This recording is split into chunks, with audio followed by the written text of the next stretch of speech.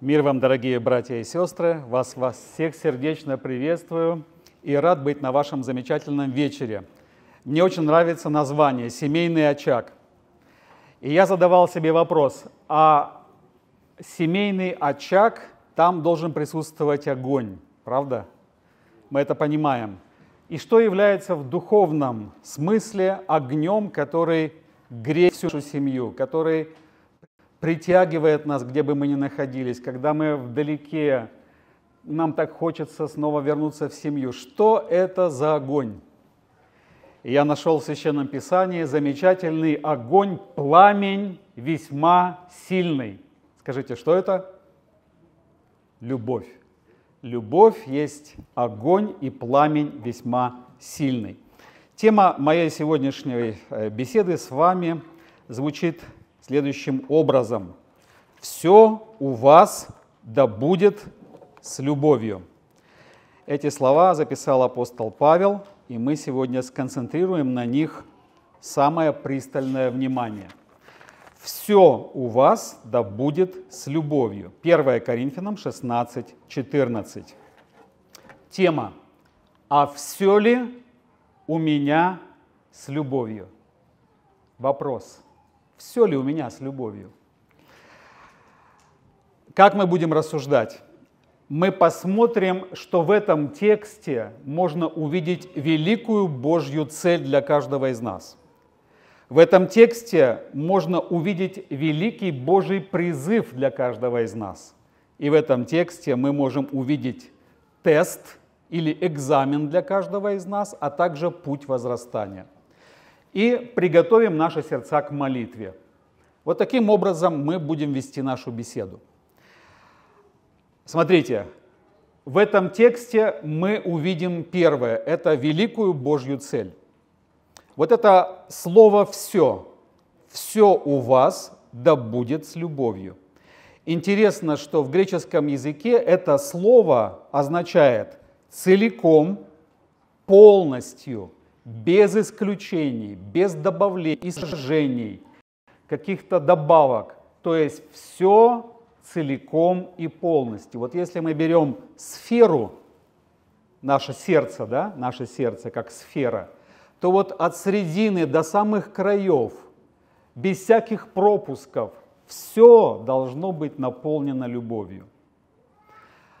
Господь дал нам эту первую заповедь, да, а, ну, великая Божья заповедь, да, мы читаем о ней. Возлюби, Господа Бога твоего всем сердцем твоим, всею душою твоей, всеми силами, всею крепостью и всем разумением твоим. И вот это слово снова «все» опять гармонирует с тем, которое мы прочитали у апостола Павла. «Все у вас да будет с любовью». И смотрите, Божья великая цель для каждого верующего человека – наполнить наше все сердце Божьей любовью, и тогда все, что исходит из этого сердца, а больше всего хранимого храни сердце твое, потому что из него что? Источники жизни, тогда все источники жизни, все, что исходит из этого сердца, намерения, желания, поступки, слова, дела, все будет с любовью – Согласны? Так и есть.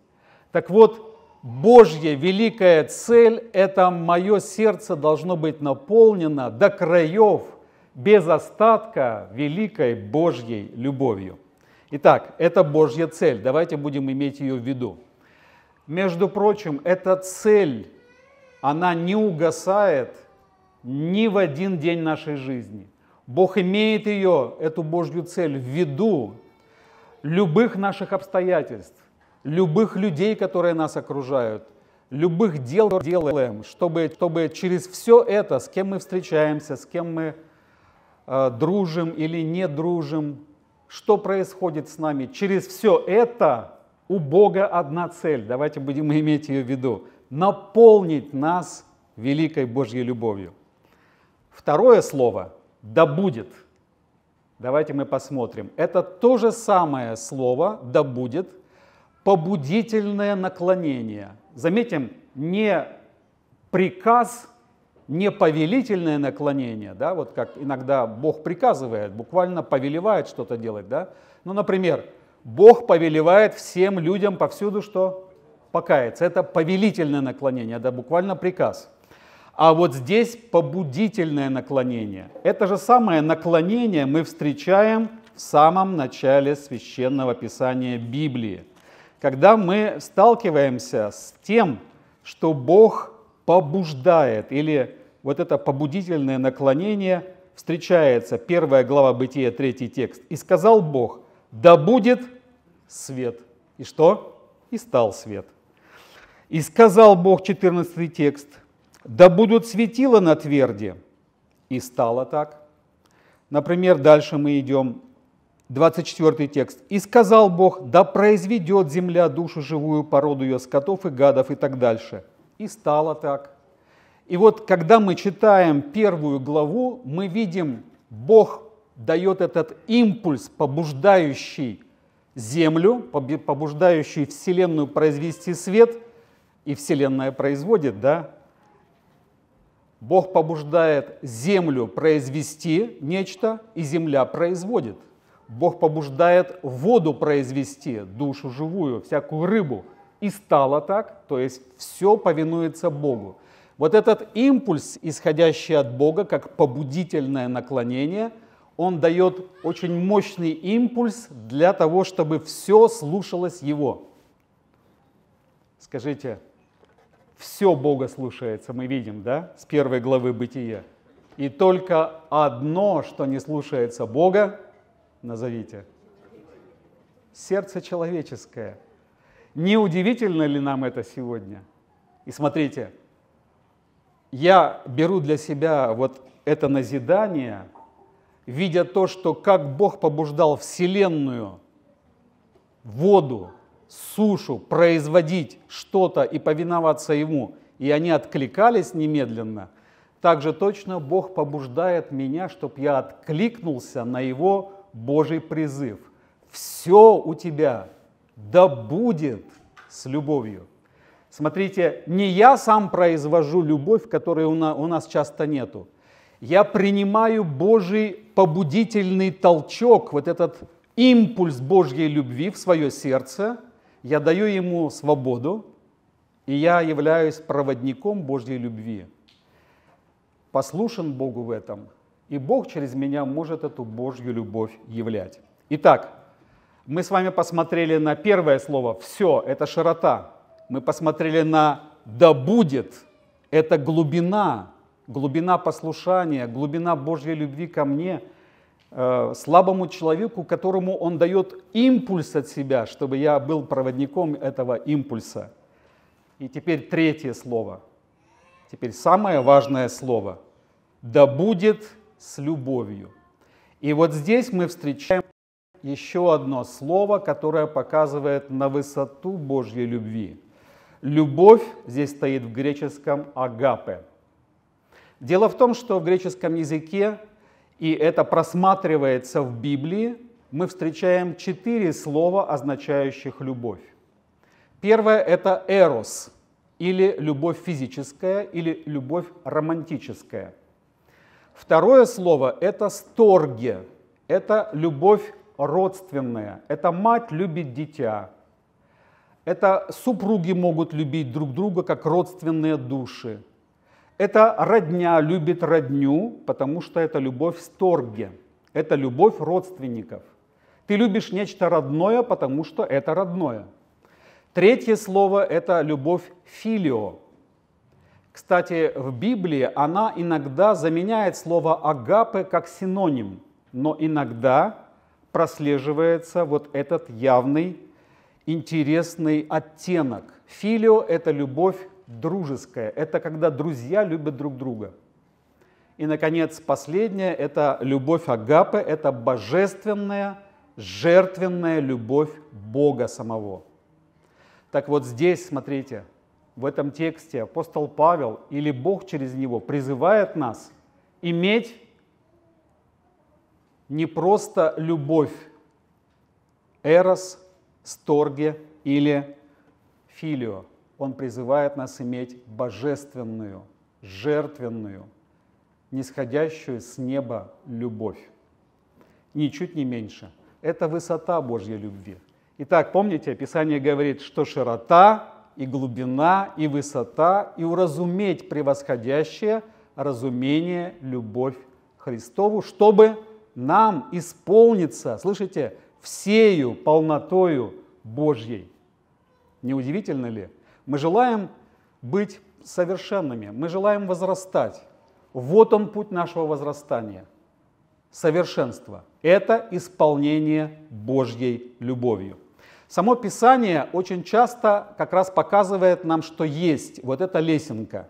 То есть самая первая лесенка или самая нижняя часть любви или э, вот эта любовь, это эрос или романтическая любовь. Она очень часто бывает просто на уровне влюбленности и быстро проходит. И люди ее теряют. И очень часто она не переходит дальше.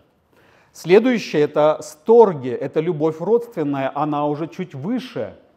А родственники могут очень долго любить друг друга и любят друг друга, но это тоже еще не то. Следующая ступенька это филио. Помните, Писание говорит, что бывает друг даже более привязанным, нежели кто?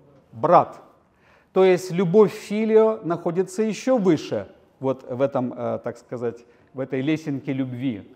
Любовь филио выше, но еще выше стоит любовь агапы. Смотрите, самая главная характеристика Божьей любви, ее качество очень сильное, это отдача. Ибо так возлюбил Бог мир, что отдал. Вот слово «так» указывает на сильное качество Божьей любви. Божья любовь характеризуется жертвенностью, отдачей. Это полная противоположность нашему эгоизму. Эгоизм – это когда все ко мне, все для меня.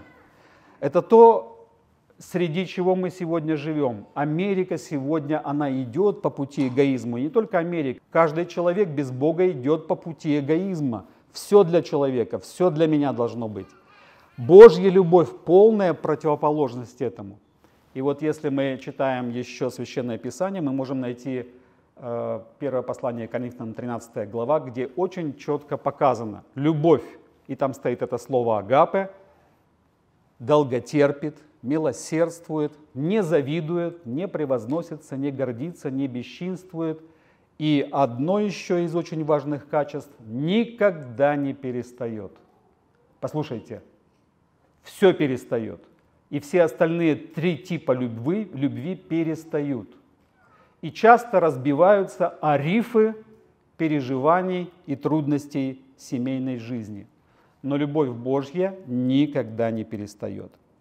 Ну а теперь последний и очень важный момент, по которому мы проверяем себя как тест – и также смотрим на путь возрастания. Три момента я хочу ответить. Первое. Все у нас, но только с недостатком любви. Да, все, но везде постоянно какой-то недостаток.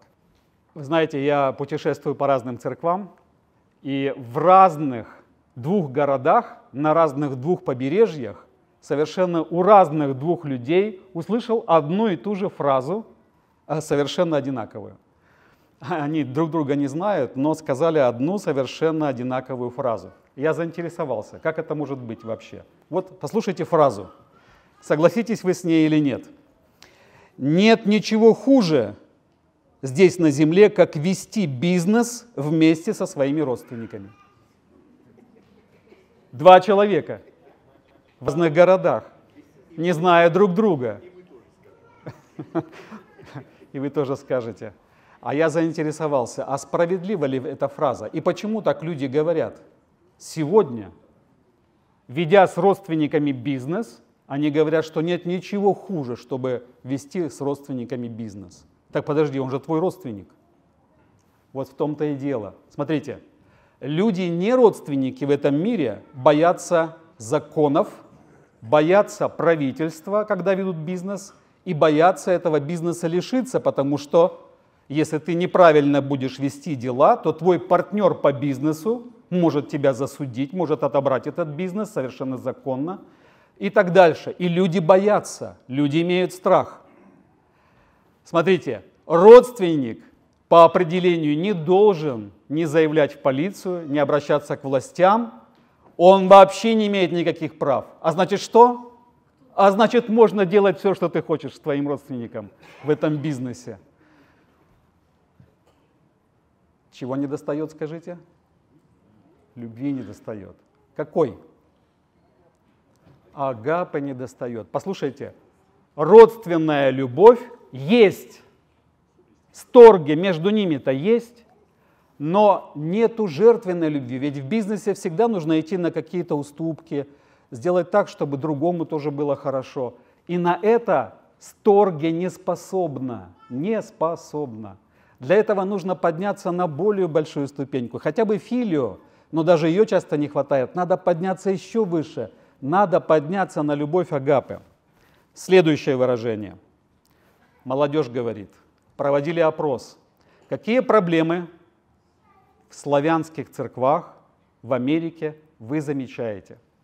Называли разные проблемы. Молодежь называла. Ну, это проводили опрос в наших церквах. Меня поразил один ответ. Послушайте его. Это было несколько ответов у молодежи, и мы их потом суммировали, и таких ответов было немало. Молодежь говорит, что одной из проблем в наших славянских церквах является наличие кланов. То есть больших родственных связей, больших э, ну, родственников, так сказать, больших семей родственных. Послушайте, которые никого не принимают к себе в родство. А как это так? Куда еще принимать? Послушайте, э, в своем, в своем служении душепопечителя я сталкивался с огромным количеством разбитых сердец. Когда сестричку брали замуж в большое родство, но так никогда и не приняли ее до конца. И она не знает почему. Некоторых не удовлетворяло то, что она из бедной семьи, некоторых не удовлетворяло родства, я имею в виду, то, что она из мира покаялась, она не, не наследственная верующая, и так дальше, и так дальше. И я подумал, ну почему, почему, э, почему родства не могут принять даже того, кто стал, кажется, родственником им через замужество? Почему не могут? Ответ очень простой. Родственная любовь любит только родственников. Те, которые приходят к ним, это не являются родственниками прямыми, поэтому на них любви не хватает уже, даже родственной. И поэтому столько разбитых сердец среди молодежи. Некоторые сестры, мы с ними разговаривали, они плачут, они говорят, я не знаю, почему меня не принимает родство. Я все делаю, я стараюсь ну, всем угождать, быть, быть хорошей, быть доброй, и семья у нас хорошая, мы же верующие люди – но меня не принимают, не принимают в это родство. Я это чувствую, я как изгой. Что мы скажем? Что мы скажем родству? Надо подниматься выше. Ты не можешь любить, потому что ты остался на уровне любви сторгия, любви родственников. И вы знаете, что говорят в этих родствах? Мы такие любвеобильные, мы так любим родственников – да никто так не любит, как мы любим. Да, вы любите, но вы любите только родственников, больше никого. Послушайте, а как мы хотим принимать грешников из мира в наши церква, если даже через замужество не принимаем ну, наших верующих, которые в наших церквах? Как мы хотим принимать людей из мира, которые будут приходить в большом количестве и тоже будут выходить замуж и жениться? Как они будут себя чувствовать? Ну, я некоторые такие моменты немножко а, болезненные затрагиваю, но поверьте, они, эти болезненные моменты, они на слуху. И в нашей молодежи это все видят. И вашей молодежи видят, и в церквах это тоже видят. Итак, не будем останавливаться на том, что мне кажется, что я так сильно люблю родственников. Не торопись. А вот если в твое родство войдет человек со стороны, Хватит ли твоей любви сторги? Нет, не хватит. Поэтому недостаток Божьей любви. Мне понравилось стихотворение, которое я очень часто сейчас читаю, стихотворение Веры Кушнир. «Мы у Бога о многом просим, а просить об одном лишь надо, о любви, что все переносит, что чужому счастью рада». Когда любишь, легко прощаешь, когда любишь, не мыслишь злого, на обиды не отвечаешь злобным взглядом и едким словом. Послушайте третий куплет. Меня он очень трогает. В милосердии границ не знаешь. Сердце к жертве всегда готово.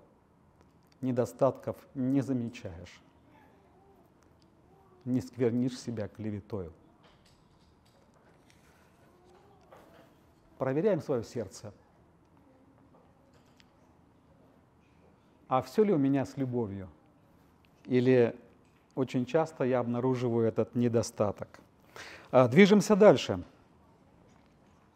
Помните одного юношу, которому нужно было сделать операцию, чтобы жениться на одной хорошей девушке – и написано о нем так. Юноша не умедлил сделать это. Он не умедлил пойти на операцию.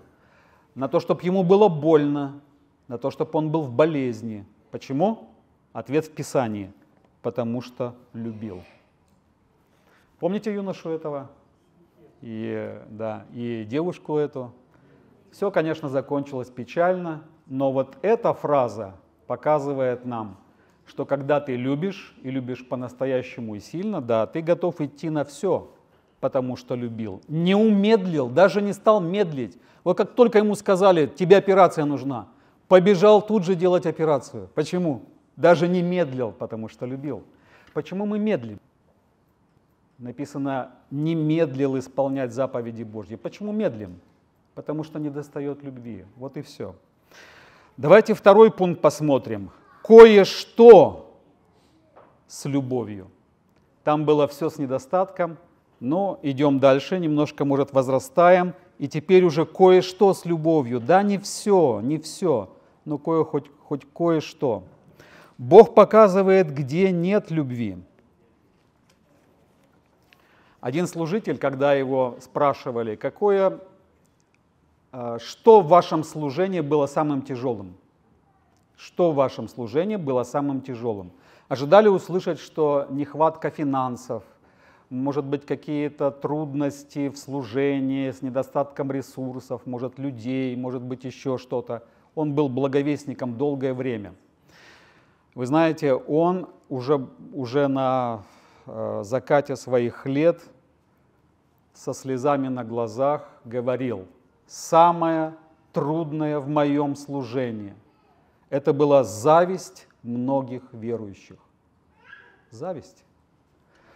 А вы знаете, как определяется зависть?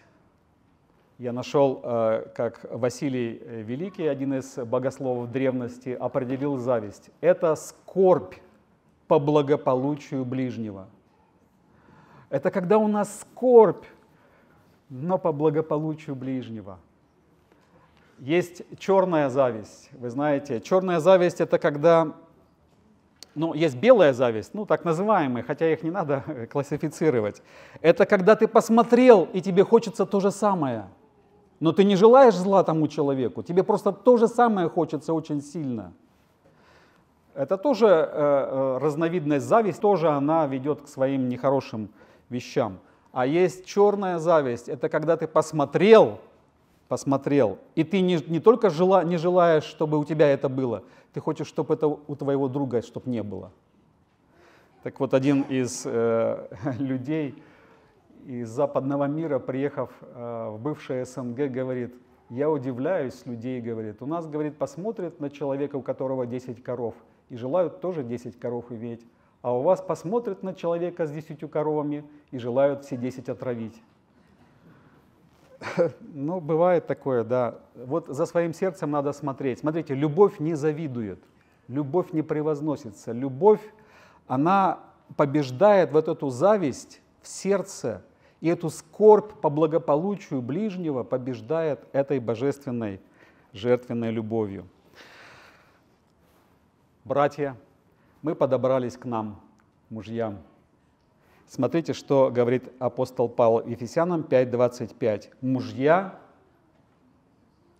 любите своих жен, как и Христос возлюбил церковь и предал себя за нее. И там стоит слово «агапе». Нет, не просто филио и не сторге, и не романтической любовью, хотя это тоже все присутствует. Нужно сказать, что мы не заменяем любовь. Мы ее, ей даем, чтобы она облагородилась. Все наши человеческие чувства и эрос, романтическая любовь, и сторге, э, вот, э, любовь родственников, и филио, дружеские чувства, они не уходят, когда приходит Божья любовь. Божья любовь, приходя, изливаясь в сердца наши Духом Святым, данным нам, облагораживает все эти типы любви, наполняет все это и делает намного лучше, нежели мы могли бы сделать. Поэтому Божья любовь никогда не перестает. И она поддерживает все это, не дает заглохнуть, наоборот, она дает расцвесть это еще с новой силой и увеличиться. Итак, мужья, любите своих жен, и там стоит любовь Агапе. Любовь Агапе. Как и Христос возлюбил церковь. Вот эта готовность к отдаче, к жертвенности, вот она определяет эту любовь Агапы, когда мы ею начинаем любить свою жену. А теперь самый главный, очень важный момент. Послушайте, сейчас я буду говорить о моменте, который я пережил сотни и сотни раз в своей жизни. Я проверил, как он работает в моем сердце и в сердцах моих друзей – и я увидел, что он работает сто процентов. Но многие люди не обращают на него внимания и идут по пути приобретения любви Агапы другим неправильным путем, не библейским путем. Послушайте, какой путь предлагает Священное Писание в том, как приобретать эту любовь Агапы. Ведь в нас ее нету? Нету. Писание говорит, люби свою жену любовью Агапы. А я говорю, Господи, а у меня ее нету. И как я ее произведу? Послушайте, как Господь ее производит. Во-первых, любовь Божья излилась в сердца наши Духом Святым, данным нам. Для этого должно быть возрожденное сердце, способное вмещать Божью любовь. Во-вторых, человек должен увидеть, что у него не хватает любви. И поэтому мы говорим о таких моментах в нашей церковной жизни, в семейной жизни, когда ты увидел, что не хватает любви твоей, и ты думал, что ты любишь свою жену очень сильно, а вот пришла ситуация, где она тебя огорчила или сделала что-то тебе очень больное, и ты не находишь больше вообще никаких чувств. Скандал только один в сердце накипает или возмущение накипает, а любви никакой не чувствуешь. И как, как в этот момент действовать мне, мужу или тебе, жене? Послушайте очень внимательно. Я приведу это на простом примере. Однажды к нам приехал хороший проповедник, пожилой брат, и после проповеди мы к нему с молодыми братьями подбежали. А он спрашивает, братья, а проповедь была о любви. Он спрашивает, братья, к нам, молодым, вы любите меня любовью Агапы? И мы, конечно, да, да, да, мы вас любим. Дорогой служитель любовью Агапы. Он говорит, нет, не обманывайтесь. И он взял и наступил одному брату на ногу очень сильно. А он такой брат здоровый. И тот молодой братик, а, а, ему было больно. Он так специально сделал, он причинил ему боль. И он потом нам всем говорит, а вот сейчас, дорогой брат, если ты пересилишь эту боль, переступишь ее, как бы отправишь ее на крест, и примешь решение, несмотря на эту боль, продолжать любить меня, как брата, в твое сердце начнет изливаться любовь Агапы. Я не поверил этому. Я подумал, что это как-то странно, но не может такого быть. Я подумал, ну я помолюсь Господу, и мое сердце сейчас исполнится любовью. Это вот и все. Но когда я начал проходить свои переживания и вот эти боли в жизни, когда у тебя не хватает любви и когда тебе вообще не хочется любить больше. Человек тот недостоин твоей любви. И я, мучаясь в этом состоянии, не находя выхода, вставал на колени, вставал на колени, часто со слезами, и говорил, Господи, у меня нету любви, и я даже не хочу его любить. Но я твое дитя, я хочу быть тебе послушным. И я принимаю решение в моей воле продолжать любить этого брата. Помоги мне в этом, Господи. Наполни мое сердце Твоей любовью. Вот это решение Бог ждет. Это решение всегда через боль. Ты боль должен переступить, отправить ее на крест. И только тогда твое сердце открывается для принятия Божьей любви. Вот это и есть путь креста. Вы помните, как шел Христос? Господи, Отец, прости им, ибо не ведают, что творят.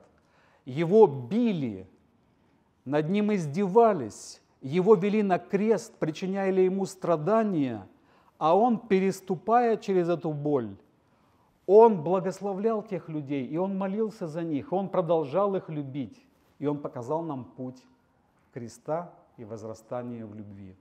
Поэтому в следующий раз, когда тебе кто-то причинит боль, и эта боль тебя будет очень и очень ну, тяготить внутри твоего сердца.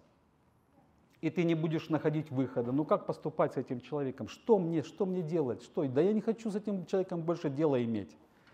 Послушай, я к себе, своему сердцу и к тебе, к твоему сердцу тоже обращаюсь. Послушай, дорогой брат и сестра, Бог дает тебе удивительную, уникальную возможность встать на колени, переступить через эту боль и как послушное дитя сказать Господу, Господи, но я послушен хочу быть Тебе, я продолжаю любить этого брата или сестру, я буду его любить. Ты принимаешь решение воли Твоей. И к решению воли присоединяются чувства сердца. Еще на заре христианской эры один из богословов сказал – Наше сердце не может долго противиться решению разума и воли. И заметьте, Бог обращается к нашей воле. Муж, люби свою жену. Это Он обращается к моей воле. Он обращается к тому, чтобы я сделал решение. Он не говорит, ах, если ты почувствуешь очень сильную любовь к твоей жене, ах уж если сильно чувства твои будут наполнены любовью, вот тогда ты люби люби твою жену. Нет. Вот когда тяжело любить, когда что-то произошло между вами, напряжение, скандал, ссора, боль между вами, какой-то разрыв произошел, вот этот момент на колени встал, переступаешь через боль и делаешь решение воли. Ты послушное дитя Божье, Бог говорит, люби свою жену любовью Агапы, и ты говоришь, так и говоришь, вслух, можно про себя, но вслух лучше – Господи, я хочу любить мою жену. Я делаю решение, я буду ее любить с Твоей помощью. Излей в мое сердце любовь Божью Агапы. Послушайте, я проверил это многократно, не один десяток раз в своей жизни. Это работает сто процентов. И вы можете это делать. Я думаю, что многие из вас уже это делают, просто не обращали внимания. Один отец, его сын-подросток, опять что-то натворил в школе. Ему позвонили, нажаловались, он ждет его с школы. Заготовил часовую беседу. Потом остановился и подумал, Господи, а сколько было этих часовых бесед с полностью нулевым результатом, а еще и с ожесточением моего сына – Я не буду ничего говорить. Господи, дай мне слово от Тебя, хотя бы одно слово моему сыну-подростку. И я сейчас не в том состоянии. Мое сердце раздражено, мне больно из-за его поведения. И это многократно уже он это делал. Я ненавижу его. Господи, это неправильно. Дай мне любовь Твою, наполни мое сердце. И он говорит, я стоял на молитве, попросил у Бога об этом, и вдруг приходит одно слово. Одно слово от Господа. Я его принял, но вместе с этим словом пришло теплота к моему подростку, сыну. Пришло сожаление, пришло понимание его ситуации, что ему тяжело, ему нужна любовь, а я как отец не являю этой любви. Пришел сын-подросток, мы сели с ним, и я сказал ему одно слово от Господа, то, которое пришло в сердце. И вдруг мой сын заплакал, а потом мы плакали вместе. А потом мы стояли на коленях, а потом мы два часа беседовали. Но это была другая беседа. Это была не та заготовленная беседа в таком менторском тоне. Это была беседа по душам, которую сын давно желал. И слово от Господа открыло дверь для этой беседы. Мы думаем, как мы, что мы можем воспитывать наших детей, у нас много мудрости, мы знаем, как вести себя. Я закончил педагогический университет, я знаю все приемы педагогические, но очень часто я тоже, как и тот отец, стоял на коленях, не зная, как вести. Никакие раб... ни приемы не работают. Ничего не работает, Господи. Почему? Да потому что Господь допускает моменты, которые покажут нашу немощь и нашу сильное, сильную жажду в Божьей любви. Друзья, итак, подводим итог. Нам нужно увидеть недостаток любви – нам нужно увидеть, что не все с любовью.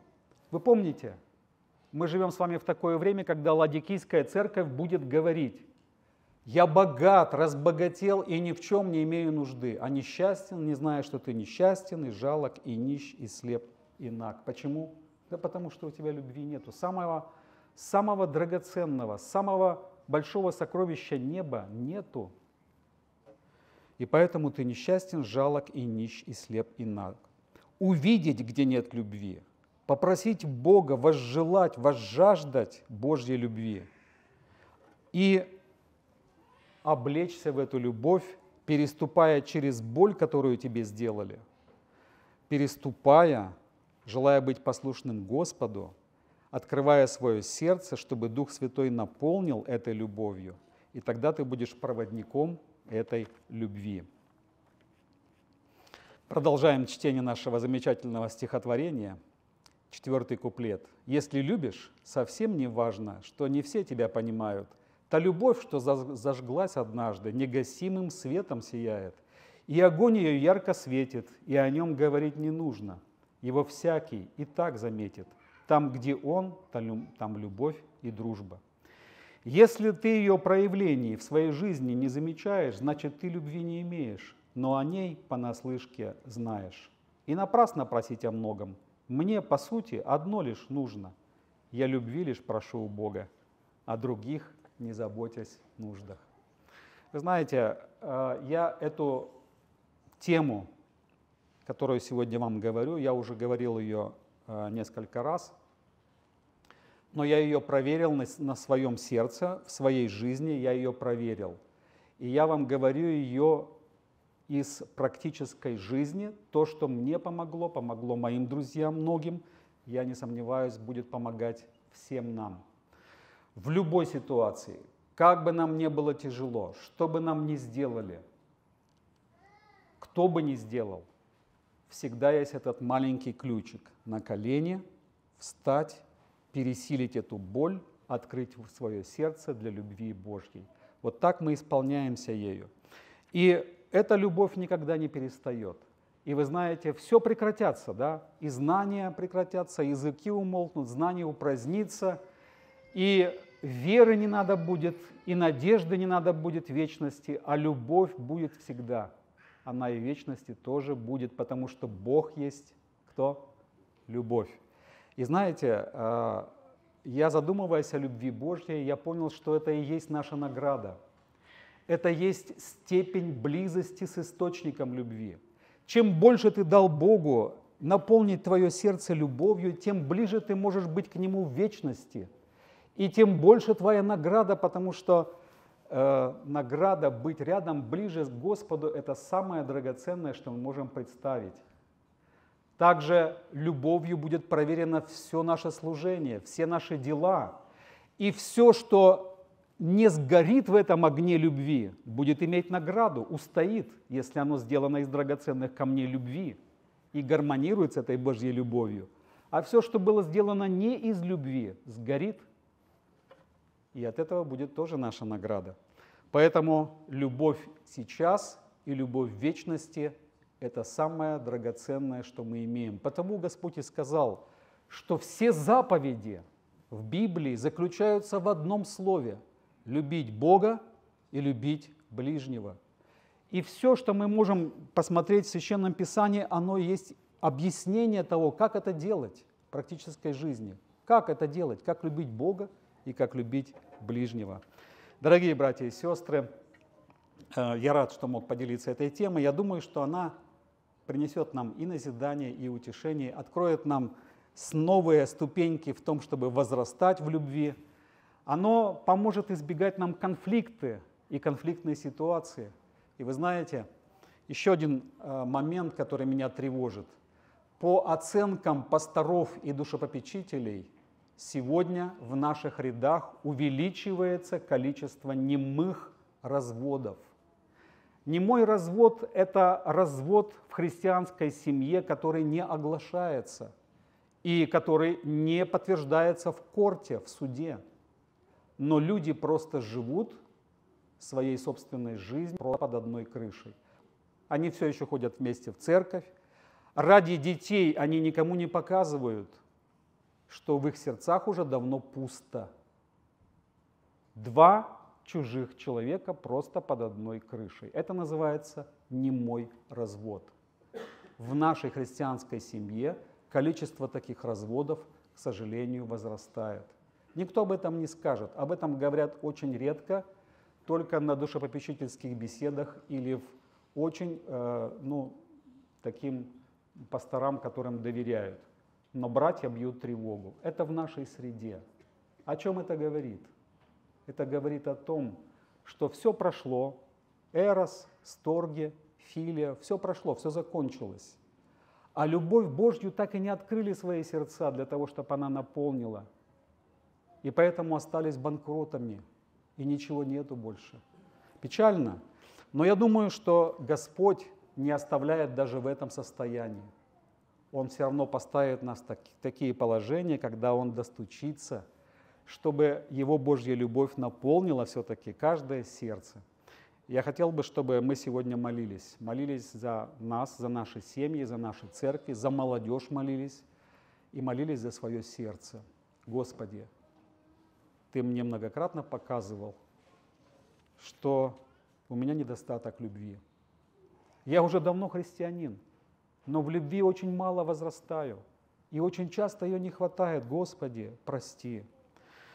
Да, кое-что с любовью может быть, но много чего еще над чем нужно работать. И самое важное – это то, чтобы действительно научиться, переступая через боль, делать это решение. Мы дети, мы послушны Ему, мы хотим любить Бога и ближних. Поэтому давайте мы сейчас приготовим наши сердца к молитве. Я приглашаю, как вы делаете обычно это, да? Э, давайте мы сейчас встанем, будем молиться и про себя, и вслух, присоединяться друг к другу, и в конце я тоже помолюсь. Пожалуйста.